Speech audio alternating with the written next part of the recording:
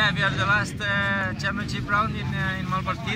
It's uh, very hot and everybody is staying in the pool to cool down. And uh, but yeah, it's it's gonna be very key to to drink and uh, eat good.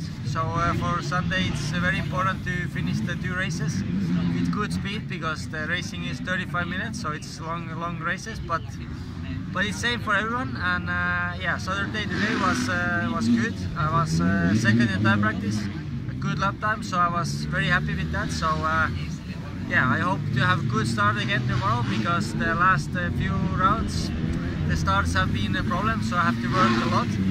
But uh, hopefully tomorrow we can start uh, uh, first, so it makes my life easier.